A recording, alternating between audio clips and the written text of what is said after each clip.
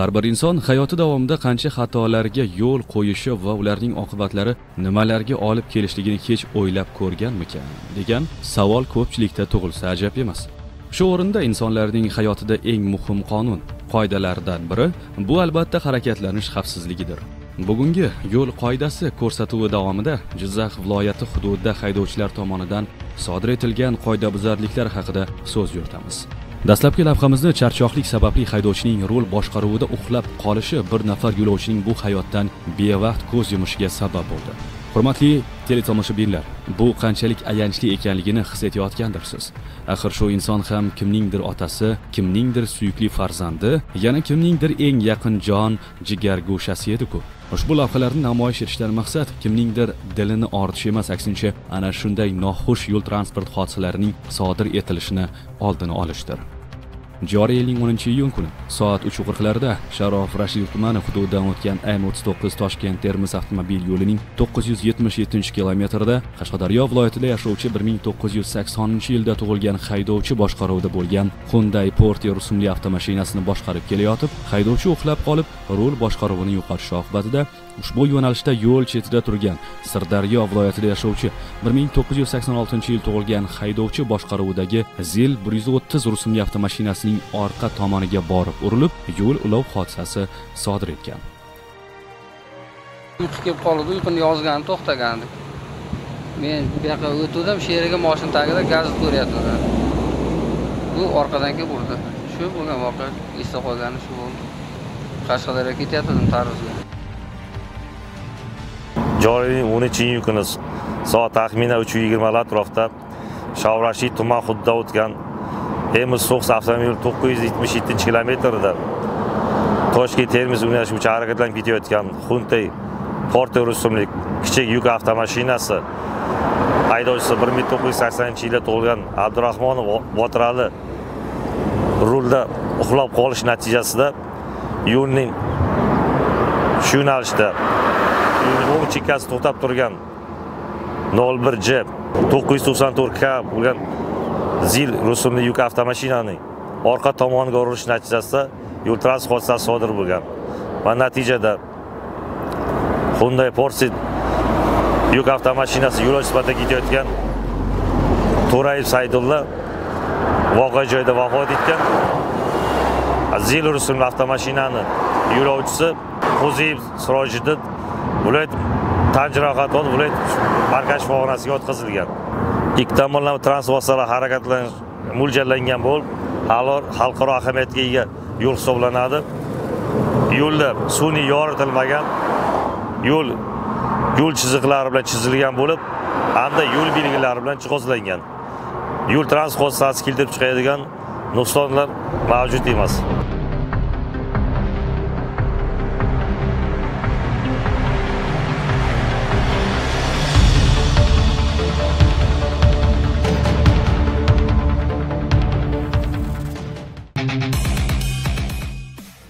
Jizzax shahri hududidan o'tuvchi tur r 36 g'allarol jizzax avtomobil yo'lining 40 kilometrida shangsi rusumli yuk hamda nexia avtomashinalari to'qnashuvi natijasida ayanchli yo'l transport hodisasi sodir etildi. Eng achinarlisi ushbu avtohalokat oqibatida haydovchi va bir nafar yo'lovchi voqea joyida vafot etgan. Tarafdan qaytyapman kelayotganman bu yoqqa g'allarga qarab yuryapman bu nexia bu yoqdan qattiq keldida rol ham rol burmadi. To'g'ri keldi to'g'ri mening mana shu tarafimga chap tarafimga kirib ketdi. Tagiga rol burilmadi meniki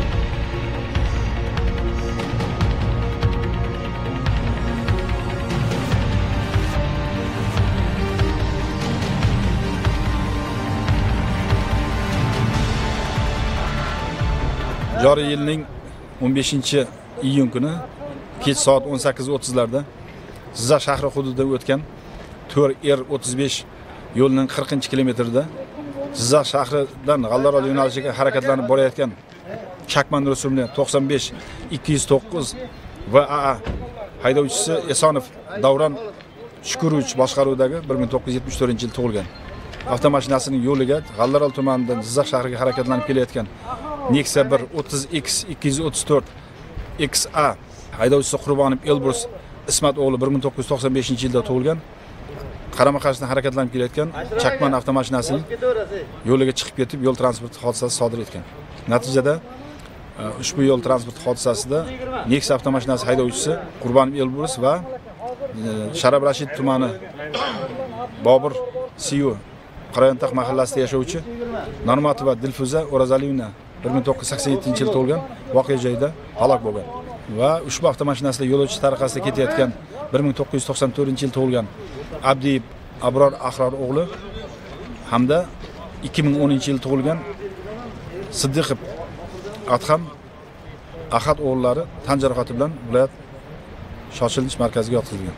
Ushbu yo'l transport hodisasi to'rt r o'ttiz sakkiz m o'ttiz to'qqiz to'qqiz yuz oltmish ikkinchi kilometri jizzax uchtepa o'n ikki o'n ikki. M o'ttiz to'qqiz bir ming o'n uchinchi kilometr avtoyo'li bo'lib ushbu yo'lning qirqinchi kilometrida sodir bo'lgan yo'lning umumiy uzunligi qirq yetti kilometrni tashkil etadi. Yo'l qarama qarshi transport vositalarini ajratib turuvchi yo'l chiziqlari ko'rinmaslik darajasida kelib qolgan. Sharaf rashidov tuman yo'llardan foydalanish korxonasi tomonidan xizmat ko'rsatiladi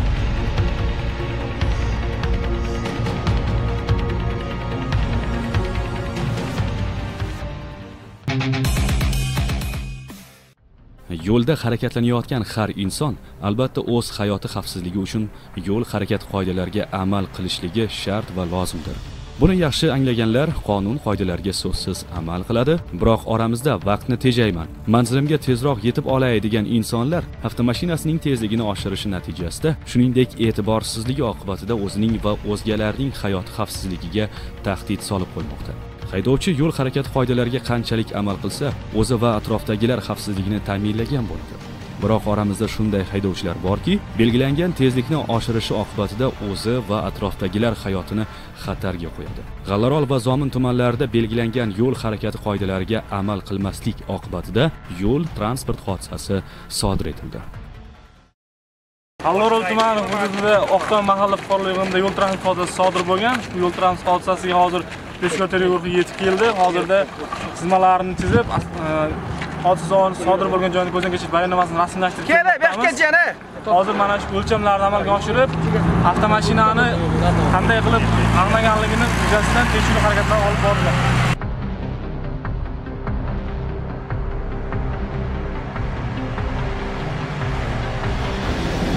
avtomashina salonida yo'lovchi sifatida ketayotgan bir ming to'qqiz yuz to'qson oltinchi yilda tug'ilgan boltaboyev bektemir tan jarohati olib g'arlon tuman markaz shifoxonasiga yotqizilgan.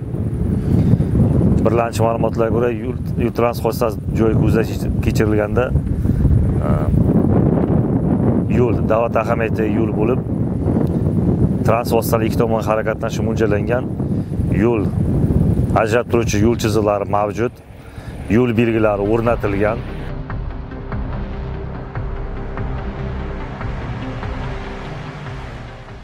Ikki ming yigirma birinchi yilning o'n to'qqizinchi iyun kuni ertalab soat nol to'rt nol nollarda zomin tumani tibbiyot bo'limiga ikki nafar shaxsning tan jarohati olganligi tufayli e, kasalxonaga tushganligi ma'lum bo'ldi. Voqeaga oydinlik kiritish maqsadida e, chilonzor xo'jaligiga kelganimizda haydovchi vaz yigirma bir nol o'n bir avtomashinasini chilonzor xo'jaligidan Zarbdor yo'nalishi bo'ylab boshqarib borayotib yo'ldan chiqib ketib e, o'zingiz ko'rayotgan bardur ustunchaga urilganligi ma'lum bo'ldi. Yo'lning holati o'rganilganda tungi yoritish chiroqlari bilan yoritilmagan e, aynan yo'l transport hodisasi sodir etilgan joy asfalt qoplamasi bilan qoplangan e, yo'l belgilari bilan jihozlangan.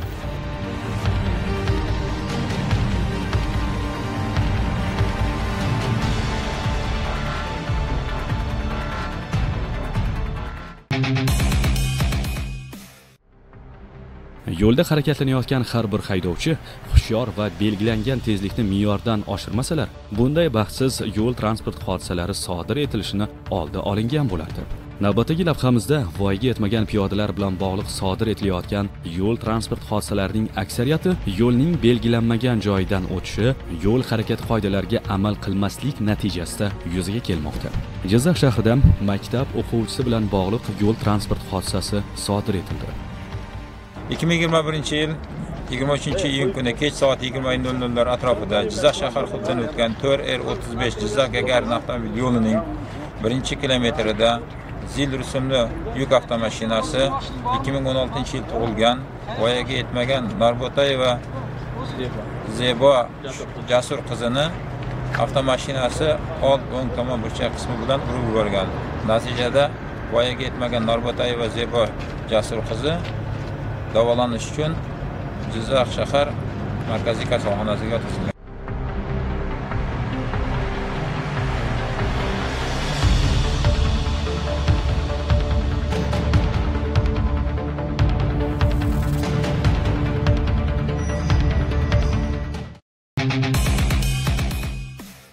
Shu o'rinda aytish joizki, hayotimizning eng asosiy kafolatlaridan biri bu qonun qoidalardir. Bizning haq-huquqlarimiz va majburiyatlarimiz qonunlarimizda qat'iy belgilab qo'yilgan. Demakki, qonun qoidalar bizni hayotimiz xavfsizligi uchun muhimdir. Shunday bo'lsa-da, negadir ba'zi bir insonlar borki, bunga befarqlikcha qarashadi yoki unga amal qilishmaydi. Bir soniyalik e'tiborsizlik, belgilangan qoidalarga amal qilmaslik noxush avtohalokatlar sababchisidir. Sharof Rashidov tumanida velosiped boshqaruvchisi bilan bog'liq yo'l transport hodisasi sodir etildi. ushbu velosipedni ko'rgan insonda bir savol tug'iladi. Nima bo'lgan bo'lishi mumkin? Balki velosipedchi yiqilib tushgandir yo'q asl mohiyatini o'rganib ko'rganimizda ushbu velosipedni shu ahvolga kelib qolishiga albatta yo'l transport hodisasi sabab bo'lgan. Joriy yilning e, 17 iyun kuni soat taxminan 19:00 nollar atrofida e, sharof rashidov tumani ravaliq mahallasi hududidan o'tgan chamanzor ko'chasi ya'ni mahalliy ichki yo'lda e, Nexia rusumli transport vositasi haydovchisi qarama qarshi yo'nalishda harakatlanib kelayotgan e, velosipedchini urib yuborgan va albatta ushbu yo'l transport hodisasi natijasida velosipedchi tan jarohatlari bilan shifoxonaga yuborilgan. Avgonga chiqyapmanman shunda to'g'ri stop yondi man to'xtayapman. To'xtaganimdan keyin o'zi bilyapmanda o'zi stop yongandan keyin vaziyat oldin chiqdi. Shunda qarasam velosiped unga olib shunday ketyapmanda o'zi pozdada o'zi to'xtab bo'lolmam chiqib ketdida summa bo'lib. Shunda turgan joyda o'rtimda bansiga olib bordim dori darmonni olib berdim. Hammani narsasini qildim pulim yetmay qoldi. Uyga pulga shunday qaytib keldim. Kelgan joyim shu.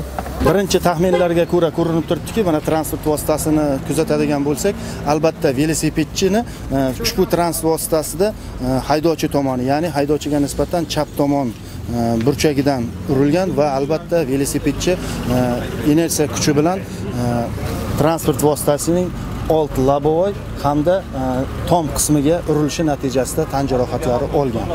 Albatta hozirgi holat bo'yicha mazkur holat bo'yicha e, sharof tuman ichki ishlar bo'limi tomonidan e, surishtiruv harakatlari olib borilmoqda.